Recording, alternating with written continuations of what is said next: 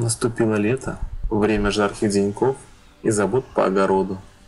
Как мы знаем, основное блюдо белорусов – это картоха. Вот и я посадил себе немного картохи. Ну как немного? Нормально я себе посадил картофель. На всю зиму хватит. Вот оно мое полюшка поле. И у меня сразу завелись конкуренты. Вот они устраивают посиделки по одному, по два, по три. Сидят, кушают. Потом появляются и такие экземпляры, которые кушают еще быстрее. Ну что ж, кушай. Приятного аппетита. И долго тебе тут еще сидеть.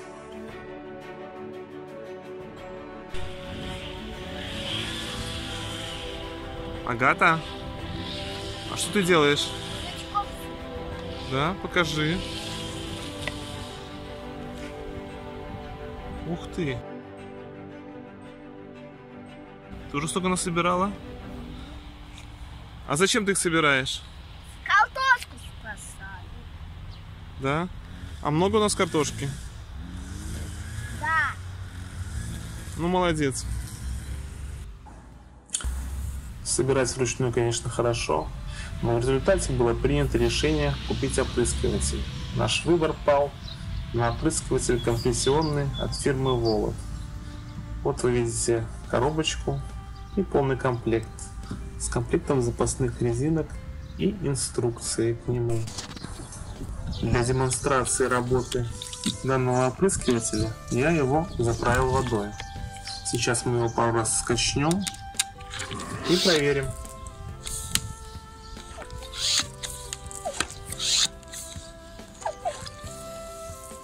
Достаточно.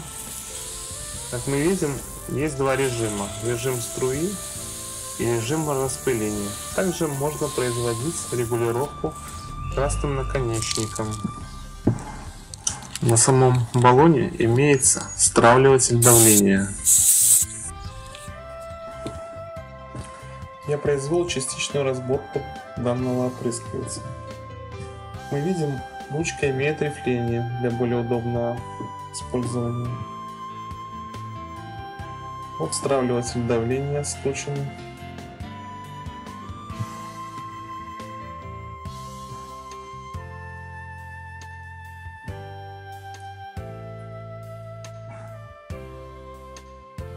Все элементы имеют резиновые уплотнения, которые в случае чего можно заменить. Все элементы раскручиваются для очистки после работы. Вот насосный блок, тоже снял его. Он также имеет резиновое уплотнение.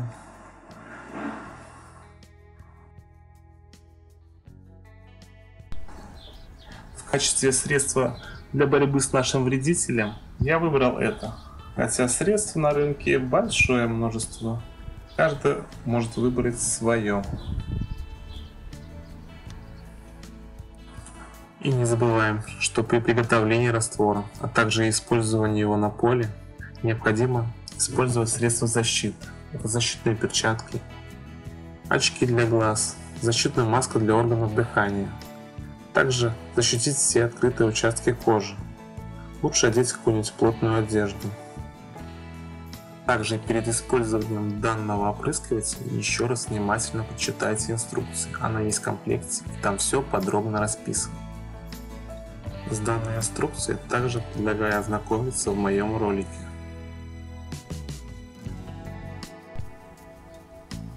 Самое главное в опрыскивании – это защитить все тело от попадания ядовитого вещества, которое в влаге.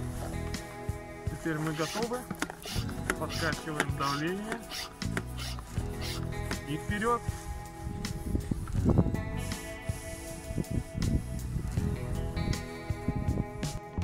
Что хочу сказать в заключение. Данный опрыскиватель станет незаменимым помощником для человека, у которого есть свой огород либо дача, и спасет от сорняков и вредителей еще не раз, как он спасал меня. Спасибо за внимание.